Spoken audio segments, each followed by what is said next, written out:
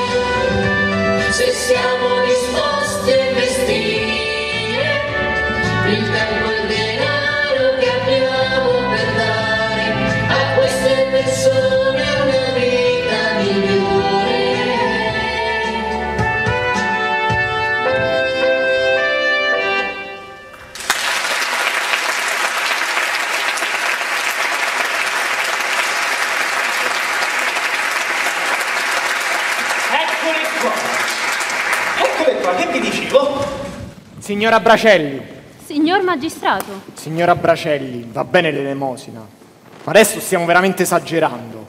esagerando. Perché? Signora Bracelli, è pazienza che lei impieghi i suoi averi per mandare a scuola questi mocciosi che se ne stanno per le strade a far monellerie. Dico pazienza se il signor eh, Centurione, suo padre, non sarà per niente entusiasta della cosa. E dico ancora pazienza se lei abbia chiesto donazioni a tante gentildonne dal cuore tenero per soccorrere le miserie di tutti i poveri di tutti i quartieri della città. Ma adesso stiamo veramente esagerando. Ancora non capisco. Troppi soldi! Eh, troppi soldi! E qui non si parla più di elemosina. Queste signore stanno impiegando troppi soldi. Troppi soldi che vanno impiegati in altre faccende. E quali altre faccende sono più importanti di questa? Signor magistrato, voi volete eliminare l'accattonaggio e la delinquenza. E questo è giusto. Ma forse il modo in cui lo si fa non raggiunge l'obiettivo. Bisogna investire soldi, anzi più soldi, per dare un'alternativa di vita a queste persone, soprattutto ai veri poveri, e non a quelli che lo fanno di mestiere. Mia cara, dolce, romantica, signora Virginia. Lei vorrebbe mandare a scuola tutti i bambini, dare assistenza a tutti i malati e magari anche un'occupazione a tutti i bighelloni. Ma certo, Una società così non può esistere. Signora Bracelli, eh, un'elemosina non la rifiuterebbe nessuno. Invece lei vuole stravolgere la vita sociale. E poi siamo in tempo di crisi. La Spagna pretende di riscuotere i suoi debiti. Bisogna far girare l'economia. Bisogna far girare il denaro. Comprare, vendere, investire in case, navi per il commercio, affari. Affari. Capisce? no, no, non capisco. Lei vorrebbe che io investissi i miei soldi per fare altri soldi? L'ho già fatto. E con quei soldi? Altri soldi, e altri soldi, e altri soldi, e altri soldi ancora.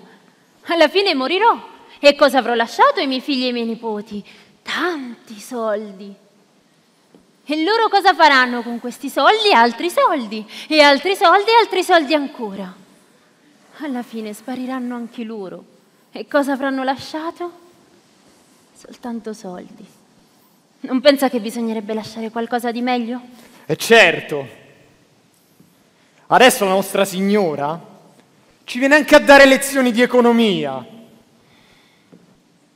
Quello che manda avanti il mondo è il denaro, le banche, gli investimenti. Ma il vero investimento è quello che non perderemo mai, quello che ci ritroveremo anche dopo la morte. Le banche non dureranno per sempre, gli stessi soldi noi non li useremo per sempre. È nella banca del cielo. È lì che c'è un tesoro che né i ladri possono rubare né la crisi può far sparire. È lì, lì che abbiamo messo i soldi per i poveri. Ed è l'unico investimento che non perderemo mai. Signora Bracelli, lei sta mettendo nella testa di queste signore delle idee strane.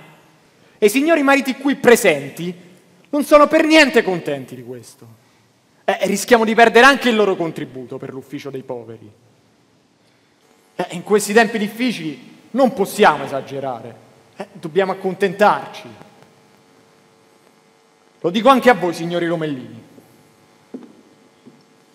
Non continuate a stravolgere la quiete nobiliare seguendo le idee di questa sognatrice. È già sufficiente quello che facciamo noi con l'ufficio dei poveri.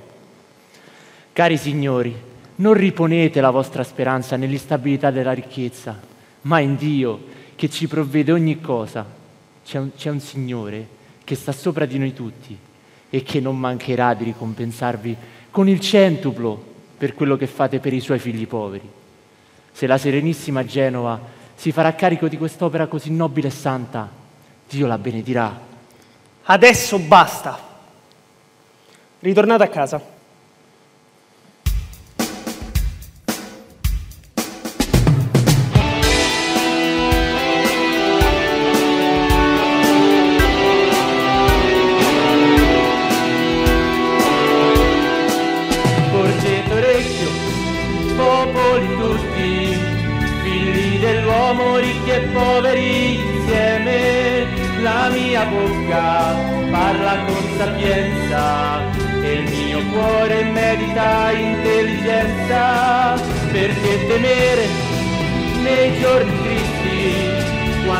Quando mi attornia la malizia dei perversi e si confidano nella loro forza, si vantano della loro grande ricchezza.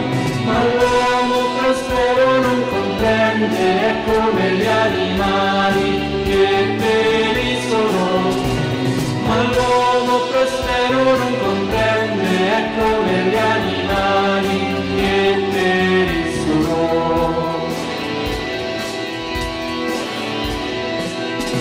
c'è nessuno che può pagare. A Dio il prezzo per il suo riscatto, non c'è ricchezza che può liberare dal non finire i propri giorni nella fossa, morrà lo stolto, morrà il saggio e lasceranno ad altri le loro ricchezze, la loro casa sarà il sepolcro, hanno posseduto il paese. Ma l'uomo prospero comprende, è come gli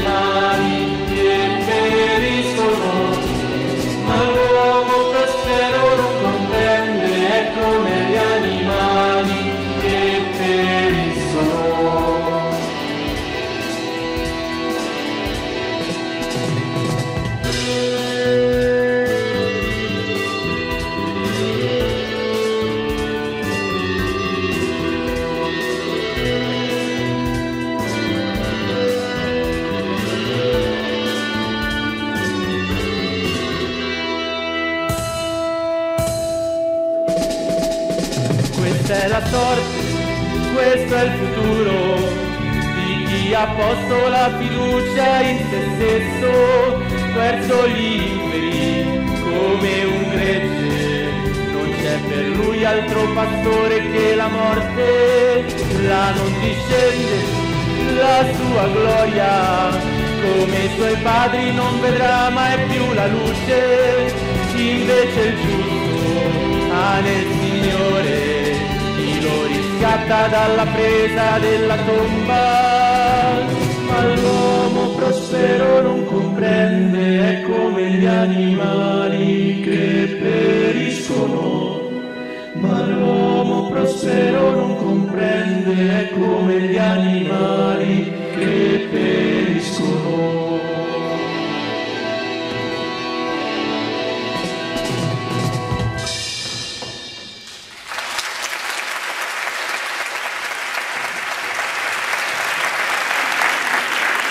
Virginia, com'è duro il cuore dell'uomo.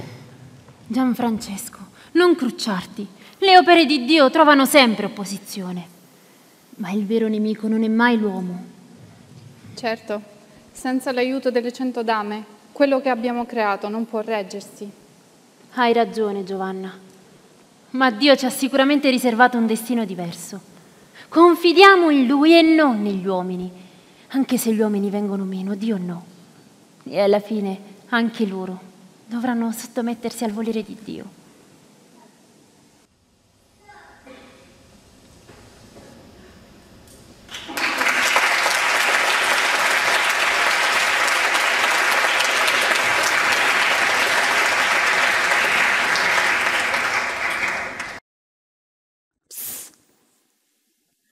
Sapete che vi dico? Quasi quasi ci vado anch'io. Eh sì, perché la Virginia ne ha fatta un'altra delle sue. Avete presente quel palazzo bellissimo, da veri nobili? Il palazzo dove ha vissuto con la suocera, con il marito e con le figlie? Beh, adesso che è rimasta da sola, che ha fatto? Ha riempito il palazzo di strazzone. Strazzone, strazzone, strazzone. E non voglio dire di peggio, eh, per non offendere le orecchie di lor signori. ha cominciato con una e poi, sai com'è? Come le ciliegie. Una tira l'altra, delle strazzone come le ciliegie in un palazzo da nobili. E poi dicono che qualcuno si stranisce. Eh, prima una, poi due, poi tre. Continuate voi fino a 40. E si arriva alla quarantunesima. Perché arriverà alla quarantunesima. Tutte le strazioni di Genova vanno a bussare alla sua porta. E non è che si vuole fermare la Virginia. No, che scherzi. Allora, sapete che ha fatto? Ha affittato una casa più grande. Pare fosse un convento. E chi lo paga? Lo convento? E chi le mantiene tutte queste estrazioni zitelle? La provvidenza, dice lei. Beata lei. Comunque, questo convento è vuoto, è grande, però non è che abbia proprio un bel nome. Monte Calvario. Ma che nome questo? Pare fosse il posto dove hanno crocifisso il Signore. Chissà non facciano fare la stessa fine anche Virginia. Però, attenzione, eh, lei lì ci porta tutte le sue figlie, così le chiama. Evidentemente le due figlie avute da Gasparino non le bastavano. Lei come figlie vuole avere tante strazzone. E che le farà fare a queste strazzone zitelle? Mica le vorrà maritare tutte. E chi se le prende quelle? quelle, insomma, avete capito, no? Però lei insegna loro a cucire, a ricamare, a prepararsi a sposarsi. Ah, dimenticavo, le insegna anche a pregare. E non è che le altre strazioni di Genova smettano di correre dalla mamma Virginia. Anzi, sapete che vi dico? Quasi quasi, ci vado anch'io.